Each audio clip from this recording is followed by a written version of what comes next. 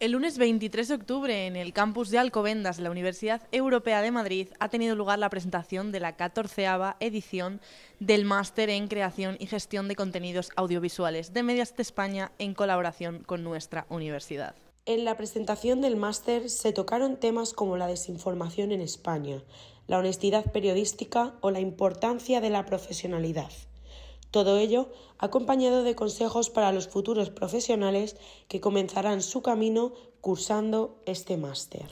Nuestro objetivo es prepararos para que desarrolléis estas habilidades necesarias para afrontar los desafíos y las oportunidades que este mundo eh, plantea. Todo esto, queridos estudiantes, se traduce en que no solo vais a obtener valiosos conocimientos teóricos, sino que también vais a experimentar la realidad de la profesión desde el primer día de clase.